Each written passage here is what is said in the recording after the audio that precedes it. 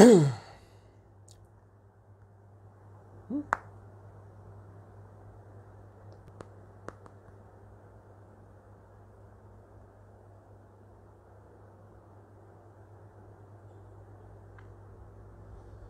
هم؟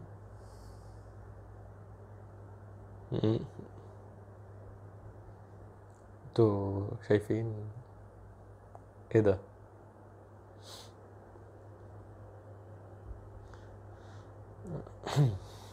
طيب حاجة ما تنيمش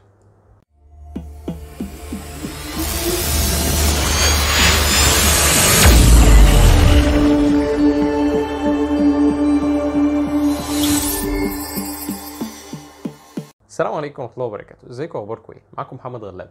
عمرك فكرت في يوم من الأيام إن أنت تدور على حاجة غريبة زي جوجل وماجوج على جوجل ايرث وإن أنت تدور على مكانهم؟ في ناس كتير فكرت، وأنا فكرت بس بعد ما قريت حاجات. طب إيه الحاجات اللي أنا قريتها؟ قريت عن الرحالة العرب وكتبهم، وقريت عن واحد من أهم الرحالة العرب أو من أولهم كمان اللي هو اسمه سلام الترجمان.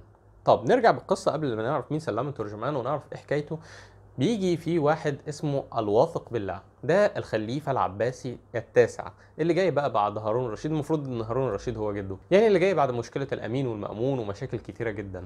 وجاي برضو مع فتنة من أكبر الفتن اللي عاشها المسلمين في الفترة دي وهي فتنة خلق القرآن. وهل القرآن مخلوق أم غير مخلوق؟ وطبعا دي فتنة كبيرة جدا. هنا الواثق بالله بيقولوا إن هو حلم حلم إن هو شاف إن الردم بتاع ياجوج ومأجوج انهار. وده معناه في الدين الإسلامي ده نهاية العالم. وطبعا في الحالة دي هو بيتخيل إن هو خلاص يعني كل الفتن دي تجمعت وخلاص إن دي فعلا نهاية العالم. فقال لازم أبعت حد. وكان رأيه إن هو يبعت حد خبير وعليم إن هو يقدر يتواصل مع كل الناس زي سلام الترجمان طب إيه مؤهلات سلام الترجمان سلام الترجمان كان مؤهلاته إنه بيتكلم 30 لغة حية وقتها. آه 30 لغة حية. شايفك اللي بتتكلم إن أنت بتقول لغتين ولا ثلاثة المهم إن هو بيهيئ سلام الترجمان إن هو يقوم بالرحلة دي ليوصل للردم بتاع ياجوج وماجوج عشان يشوفوا هو انهار فعلا ولا لأ. والتجهيز ما كانش فلوسه بس ده كان تجهيز ب يعني نقول جيش صغير. يعني إداله أكتر من 60 رجل من أقوى رجال الخليفة نفسه. وفي نفس ذات الوقت كان كل واحد معاه مبالغ رهيبة من الدراهم والدنانير. طبعا الدنانير دي أكتر من الدراهم. ومش بس كده ده بيبعت معاه مراسيل لكل الملوك الأماكن اللي هيعدي عليها إن هم يساعدوه ومش بيساعدوه عشان هو سلام الترجمان لا ده بيساعدوه ده عشان خليفه نفسه هو اللي بعته لحاجة مهمة. المهم بيبتدوا حركتهم ويبتدوا يتحركوا وبيوصلوا مثلا إلى تبليس اللي هي دلوقتي في جورجيا عاصمة جورجيا. بس دي كانت ولاية من ولايات المسلمين وقتها. وبيبتدي يتحرك بعدها لغاية ما يوصل لمملكة الخرز اليهودية اللي إحنا اتكلمنا عليها في الفيديو اللي أنت ممكن تشوفه من اللي فوق ده اللي بيديله خمس مرشدين عشان يوصلوه إلى الجهة بتاعته. وبيعدوا فعلا من أماكن قاحلة وأماكن هو كتبها ووصفها ممكن إن أنت تقرأ الوصف بتاعه في اللينكات أو إن أنت تدور عليه هتلاقي فيه الوصف بتاع سلام الترجمان. وبتستمر الرحلة دي وبتعدي على ممالك كتيرة جدا من لغاية ما بيوصلوا إلى قرجستان أو في بعض الكتب إلى الحدود بتاعة أوزبكستان.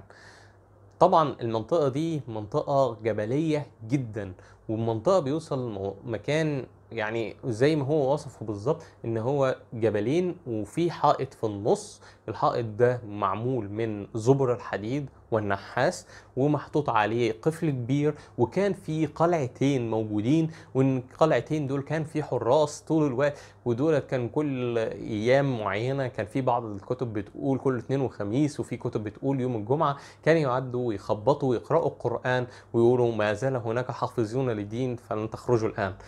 ده معنى الكلام يعني. المهم سلام الترجمان بعد كده بيكمل رحلته ويرجع تاني الخليفة العباسي في رحلة تقدر ما بين 16 شهر ل 24 شهر. بتختلف المصادر برضو ويقولوا إن هو يوصل للخليفه العباسي ويقول له ما تقلقش الجدار سليم.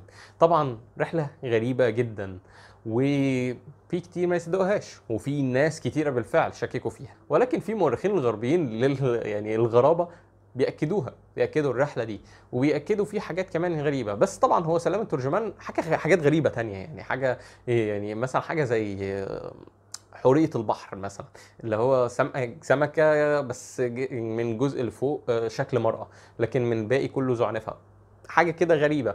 آه معرفش هو كان قابل حاجة فولكلورية ولا حاجة فدونها على أساس إن هي حاجة شافها حقيقية ولا لأ؟ محدش يعرف.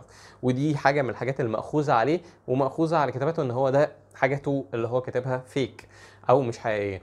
بس نيجي بقى على الوقت الحاضر. في الوقت الحاضر كان في بعثة من مصر والسعودية راحت لقرجستان بالفعل وراحوا المكان اللي تم وصفه في كتاب سلام الترجمان بالفعل يلاقوا نفس المنظر بالظبط ولكن ما عادش فيه قلاع. خلوا بالكم المنطقة دي كانت تبع الاتحاد السوفيتي في فترة من الفترات فما أعتقدش إن الاتحاد السوفيتي هيسيب منطقة زي دي لأنه هجر كل المناطق دي. فبيوصل هناك ولكن بيلاقوا إن الأحجار اللي موجودة نفسها فيها كمية حديد كبيرة فهنا توصلوا إن ذو القرنين اللي هو مش الإسكندر بالمناسبة ده في الغالب إن هو يكون قرش حاكم الفرس إن هو كان هو اللي أمر ببناء. الزبر الحديد من هنا لأن المنطقة غنية بالزبر الحديد فبيبتدي يبني.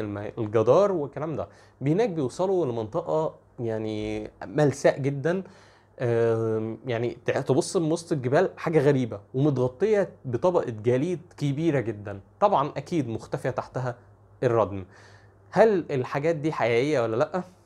معرفش. أنا هسيب لكم في الوصف الفيديو تحت لينك الفيديو ممكن تتفرجوا عليه وتشوفوا وانتوا تقرروا. أنا ما أعرفش بس ده أقرب ما يكون إلى العقل شوية إنه ده يكون حقيقي فعلا. بس دي حاجة من الحاجات الغريبة اللي أنا قريتها. فاكيد يعني عشان لو أنتوا عايزين تسمعوا حاجات زي دي حاجة تاريخية في نفس ذات الوقت حاجة تكون مرعبة شوية فأكيد لازم تعملها. like للفيديو subscribe للقناة ونشوفك في الفيديو الجاي إن شاء الله. السلام عليكم.